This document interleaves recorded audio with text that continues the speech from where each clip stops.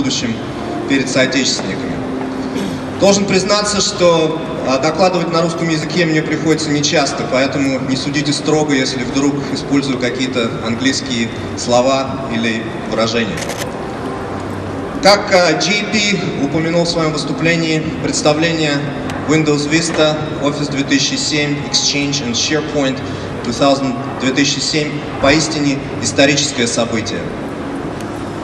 И это историческое событие открывает новую волну инноваций и новую волну технологий, которые будут выставлены на рынок в 2007 и в начале 2008 года.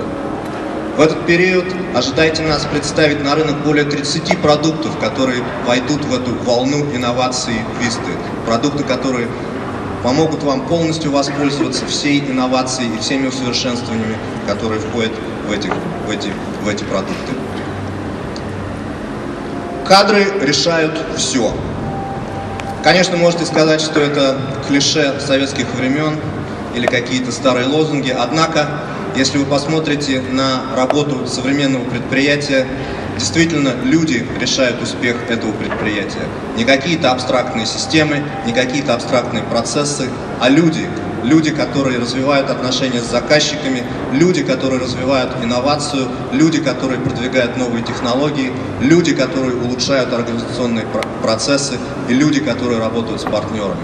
И наша задача, задача корпорации Microsoft, это предоставить программное обеспечение, которое подготовит этих людей к завтрашнему который даст им всю нужную инфраструктуру и все нужные технологии для того, чтобы они смогли решать каждодневные задачи как сегодня, так и завтра. Чтобы они могли найти нужную информацию, когда эта информация им нужна. Чтобы они могли связаться быстро с партнерами или с заказчиками. Чтобы они могли работать и повышать свою производительность каждый день. Как JP уже упоминал, индустрия развивается и развивается весьма быстро. Производительность компьютеров растет каждый день. Всего несколько недель назад Intel представила уже четырехъядерный процессор. То есть это не только развитие по законам Мора, когда процессорная производительность растет сама по себе, это также увеличение количества ядер, которое позволяет нас делать и решать более сложные и сложные задачи, но фактически аппаратуре, которая стоит значительно дешевле, чем стоила раньше. Сетевая работа, возможность, возможность, возможность связываться как с серверами, так и, и межклиентский обмен вышла на такой уровень, когда мы фактически можем находиться в режиме always on, всегда подсоединены. Программное обеспечение как сервис – Наши заказчики во многих странах ожидают нас представлять программное обеспечение, представленное как сервис а, в виде веб-хостинга. Это также позволяет решать целый ряд новых, новых задач и позволяет более гибко решать, решать проблемы современных предприятий. Стоимость накопителей и стоимость хранения данных постоянно идет вниз. Терминология, которую мы используем сегодня, чтобы описать размеры данных, которые хранятся на этих накопителях, просто невообразима. Если несколько лет назад слово «гигабайт» было, казалось весьма, весьма странным и огромным, сегодня мы говорим о терабайтах и так далее и тому подобное. Это просто феноменально, какие задачи мы можем решать сегодня. Ну и, наконец, виртуализация.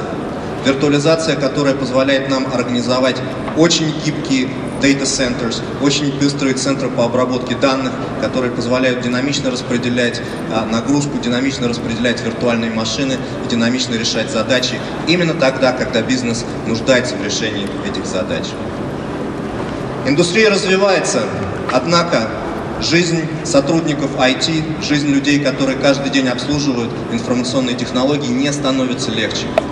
Если вы посмотрите на эту диаграмму, вы видите, что целый ряд вызовов, целый ряд давлений идет на службы IT со многих-многих направлений.